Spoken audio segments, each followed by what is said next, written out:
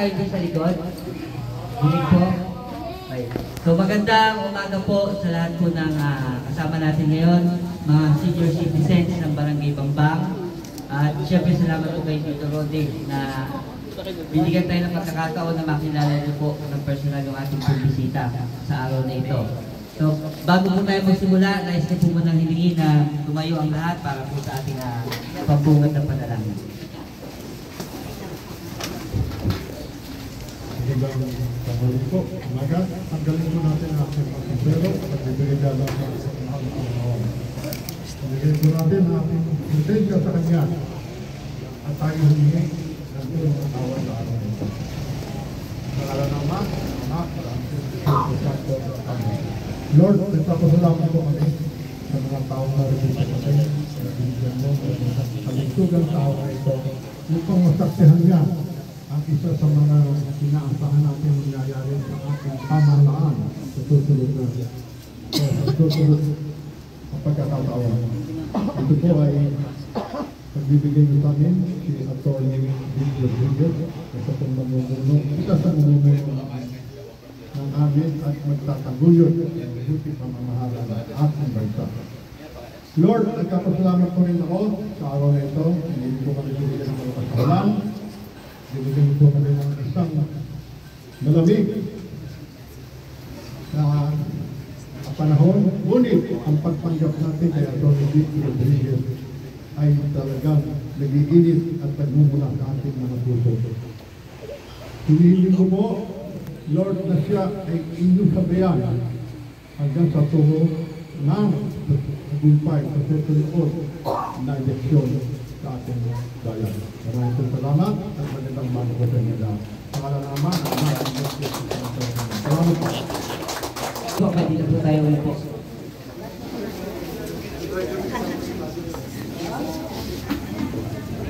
Okay po. Ah, bilang panimula, ko po tawagin ang ating uh, Rodi de Guzman para sa welcome address.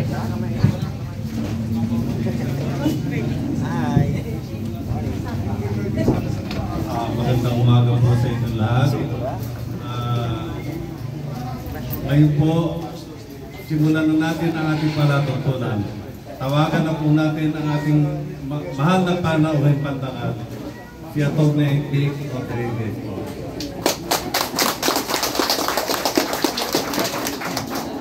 Salamat. Magandang araw po sa inyong lahat.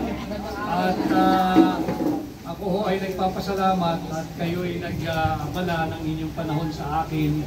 Pinagbigyan niyo po ako ngayong umaga at ah, tayo nagkakaharap-harap. Pakilala ko lang po muli ang aking ah, sarili. Ako po ay si Attorney Vic Rodriguez at ah, ako ay napariri, nap, naparito upang ah, pakilala ang aking sarili at yung ating mga advokasya sa hakbang ng maisog. Um, siguro ay narinig ninyo yung hakbang ng maisog, isang social movement na nananawagan for transparency, accountability, peace, and security.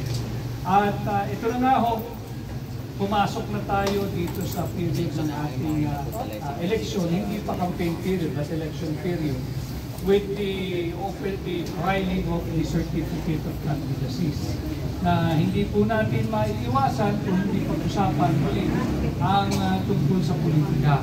Ah, at dahil nga po tapos na yung mga naghahain ng kanilang kandidatura. At ako ay ah, nagsumite ng aking ah, ah, kandidatura at opisyal at formal na pong aplikante ninyo sa pagkasenador. Subalit ah, alam ko rin naman na madami yung harap sa inyo at ah, dapat po talaga suriin natin ang bawat tao, ang bawat kandidato sa anumang pwesto, ang bawat pwesto na ilalapit po sa inyo at ah, hihingi ng tulong. At isa po ako doon.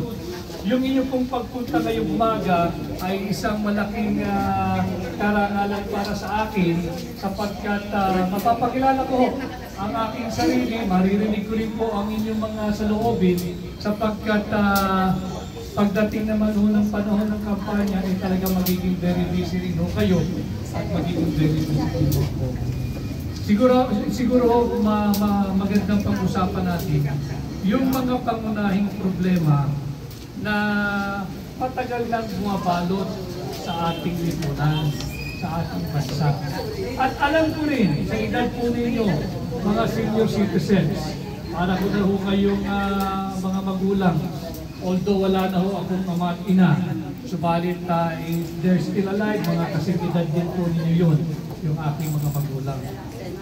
Bata pa ho ako, naririnig ko na sa usapin ah, ng mga tiyuhin ko, aking magulang, ng aking mga nakakatandang pinsan, na ang problema ho ng ating bansa ay korupsyon.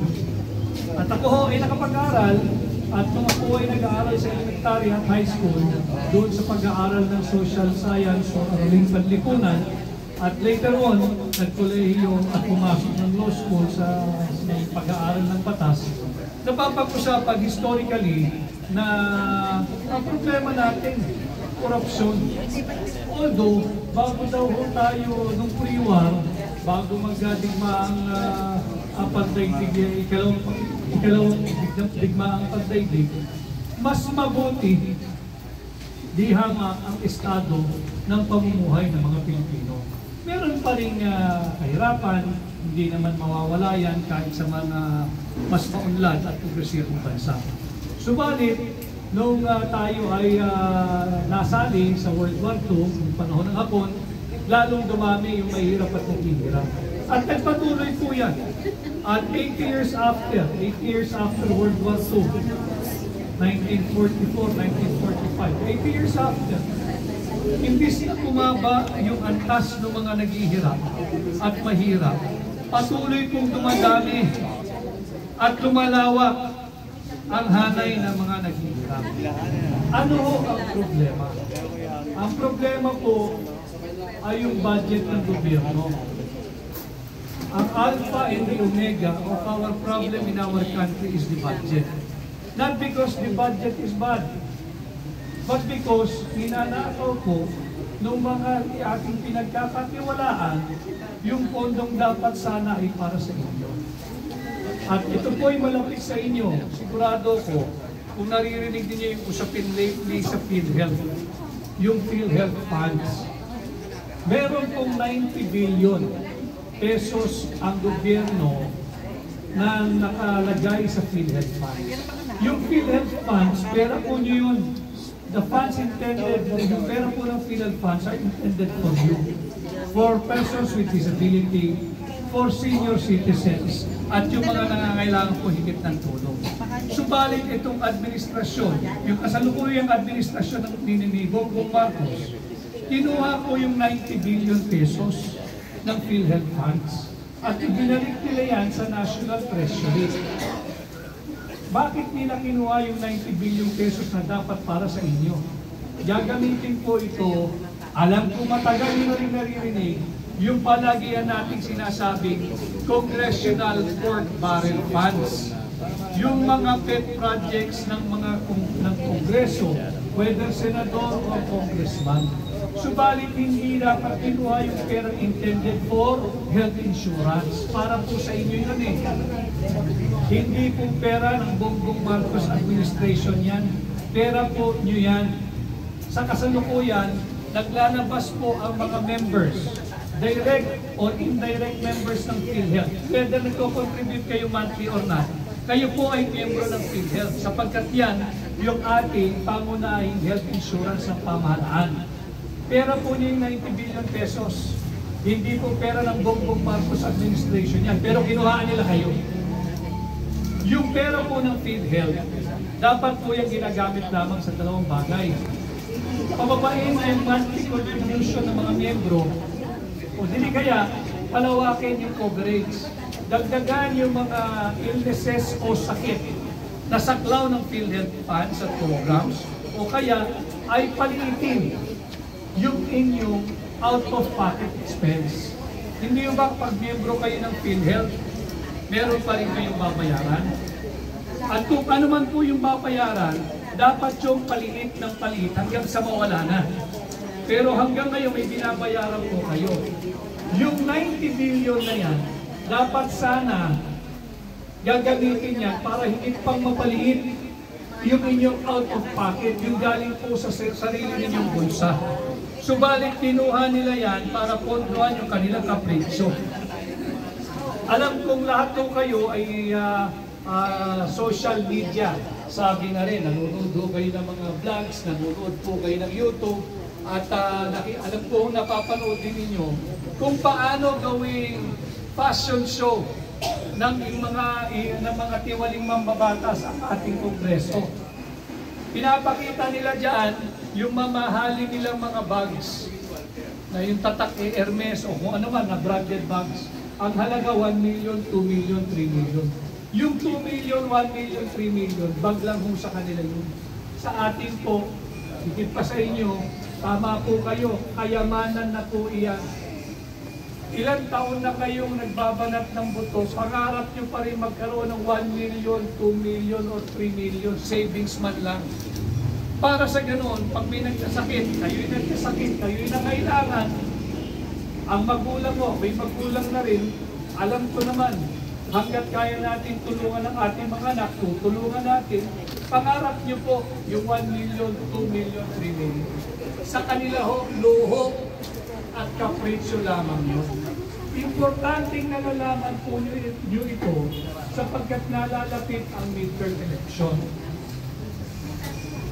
Kailangan alam ho ninyo ano ang nakataya para sa bansa dito sa nala- nalalapit na midterm election. Kayo po ay tinitingala namin sa lipunan bilang mga senior citizen because of your wisdom, because of your uh, knowledge of the past, and because of your guidance. And we come to you once again, this midterm election, seeking for your wisdom, seeking for your guidance, and help the country move forward.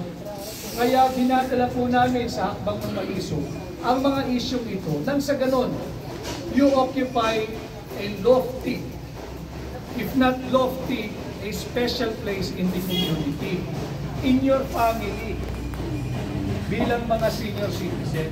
Hinihingan po namin kayo from time to time ng payo because mas eksperyensado kayo sa amin. Humihingi kami ng inyong gabay. Humihingi kami ng inyong wisdom. At sana ho, maging aktibo kayo this coming midterm election sapagkat ang nakataya dito sa midterm election ay ang mga bagay na aking babanggitin sa inyo.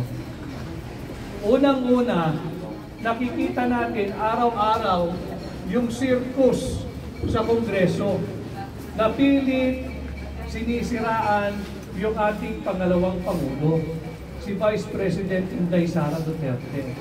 I am not here to speak on behalf of Vice President Inday Sara Duterte. I am not even here uh, because uh, to, to represent her. I have no authority to speak on behalf or for Vice President Inday Sara Duterte. But what I'm saying is, si Inday Sara ho ay representasyon lamang ng 32 milyong Pilipinong bumoto sa kanya. At you know ang tinatarget ng Kongreso sa kanilang ta ta tinatahak na landas na tanggalin at i-impeach si Vice President Inday Sara Duterte. Si Inday Sara ho is just a representation of the 32 million Filipinos who voted her into office. At siguro naman, mangangahas ako na marami sa inyo ay siya rin bumoto kay Vice President Inday Sara bilang pangalawang Pangulo.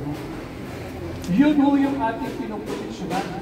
Yung mandato ng 32 million Filipinos. Sapagkat ito ay bumoto noong 2022 lawfully, legally, and in democratic election and in a democratic manner. Pinag-iinitan nila yung occupant ng Vice President's office. Eh, pero nakakalimutan nila yung tao, yung 32 million Filipinos na bumoto at nasa likod ng tao ng Vice President's Office. Yun po yung nakataya dito unang-una. Pag hinayaan po natin sila, lalapastanganin po yung mandato pinahiram ninyo nung nakaraang halalan doon sa pangalawang Pangulo. Again, let me make myself very clear. Vice President Inday is just a representation of you, of the 32 million Filipinos who voted here in office. At pag hinalapastangan ng Kongreso ang opisina ng pangalawang Pangulo, hindi po si Inday Sara ang hinalapastangan lamang kayo. Dahil kayo ang nagluklok po sa Inday Sara Duterte bilang pangalawang Pangulo. Yan po ang gagawin nila. Yan po ang nakataya sa midterm election. At for the long term, pag hinayaan po natin sila, kakalimutin po nila ang ating saligang batas. Ipepwersa nila yung charter change. Papalitan nila ang anyo ng ating gobyerno from presidential to parliamentary form of government. At pag nangyari yan, ang long term nila ay hindi na bumaba sa pwesto. We will never see the end of Marcos Romualdez and Marcos rule in our country. Galing na po tayo doon, yung diktadorya. 20 years na ho silang namuno. Hindi naman magunlad ang buhay ng Pilipino. Huwag na natin ho silang hinayaan ulit na maulit yung madilim na bahagi ng ating kasaysayan.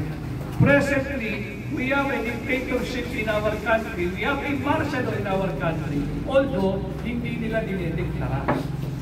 Yung hakbang ng maisog, ilang beses so binigilan, magkaroon ng payapang pagtitipon. At yung payapang pagtitipon na yan, para gawin yung ganito, na mas malaking uh, crowd. Subalit, maganda na rin yung ganito, mas intimate, nang sa ganun magkaroon din po tayo ng uh, siguro open forum later na marinig din po natin kung ano yung saloobin ninyo. And again, I say, you occupy a special place in the community bi- bi- bilang mga senior citizens. Dahil sa inyong eksperyensya, sa inyong pinagdaanan sa buhay, sa inyong wisdom. And yes, we come to you and seek your guidance on how to better love this country. Sa akin ng pag-iikot, ang dami ko nagsasabi, parang gusto nyo sumuko dahil sa kahirapan, alam kang na nakawan sa gobyerno, alam kang korupsyon, araw-araw yung nangyayaring ganyan, sinasabi, ornitik, may problema para ang hirap-hirap ng mahalin ng Pilipinas. Parang gusto na namin su- sukuan ng mga Pilipino. Yun naman ho ang aking nilalapit at pinakikiusap sa inyo bilang mga influential uh, leaders of our community and of your family. Let us not give up on our country. Let us not give up on our nation. Let us not give up on the Filipino people. Let us not give up on our aspiration for a better Philippines, for a better country because we deserve more. And let us not give up on our fight and our war on corruption. Paglabanan labanan po natin ito, mag-kis po tayo.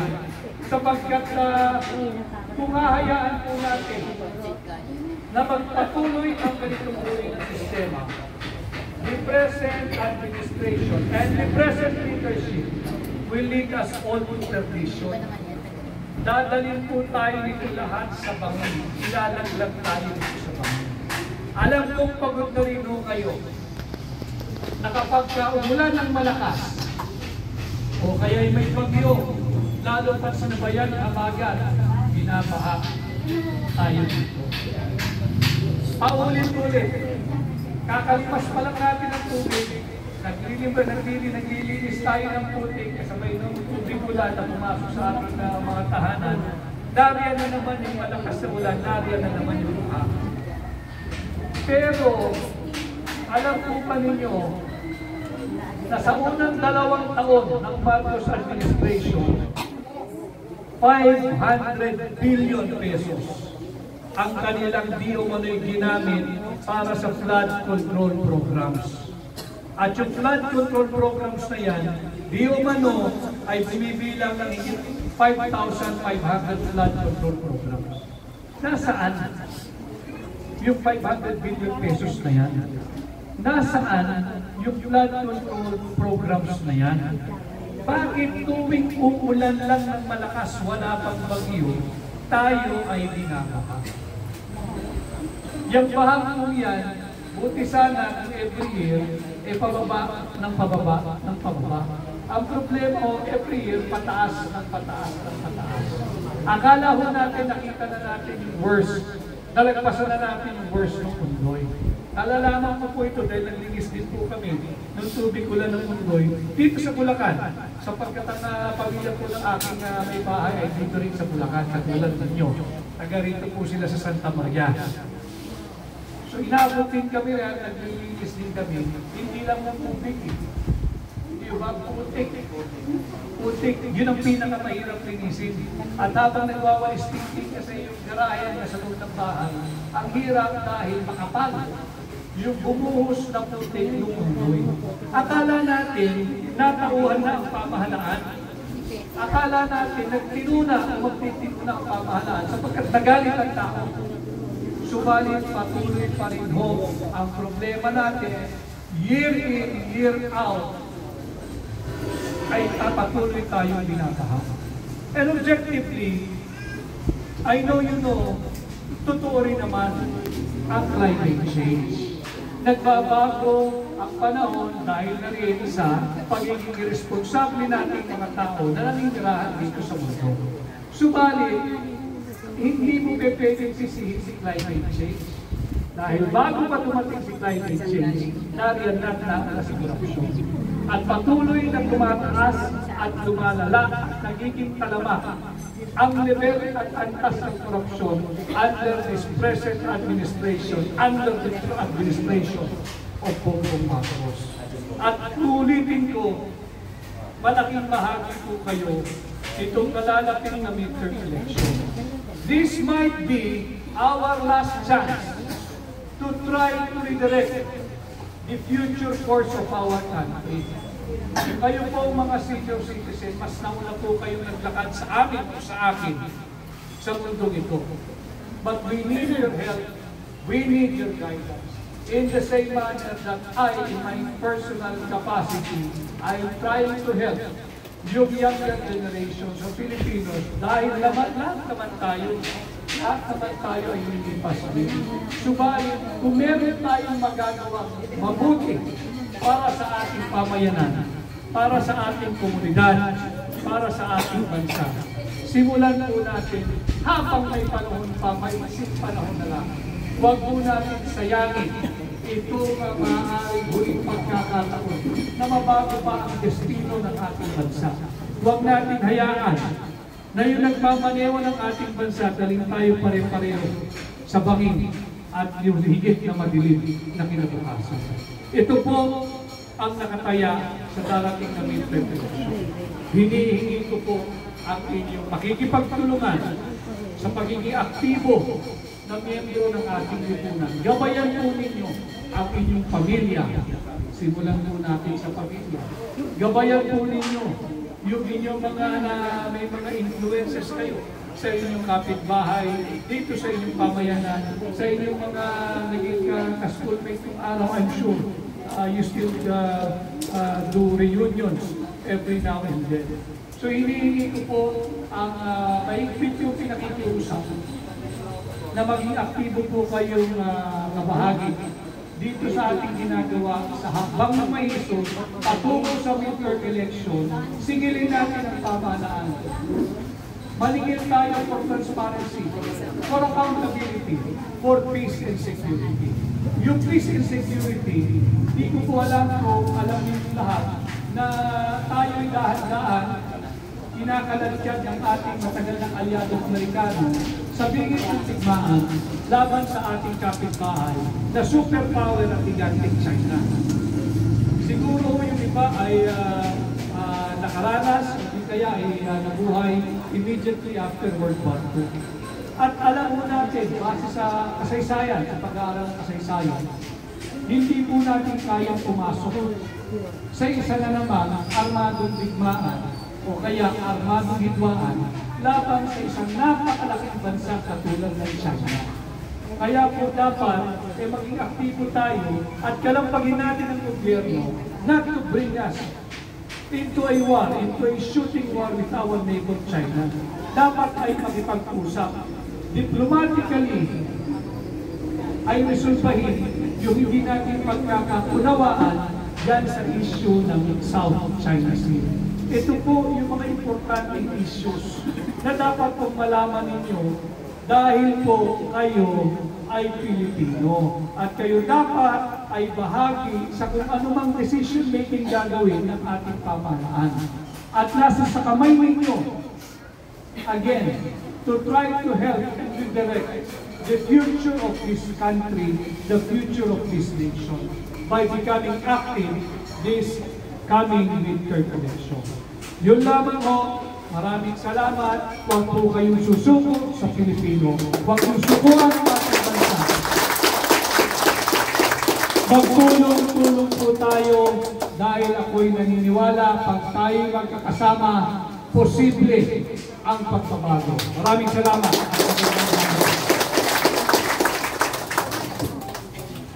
Ah, maraming salamat po, attorney. At ngayon naman po mga kababayang may isog, dadako po tayo sa open forum. Yung mga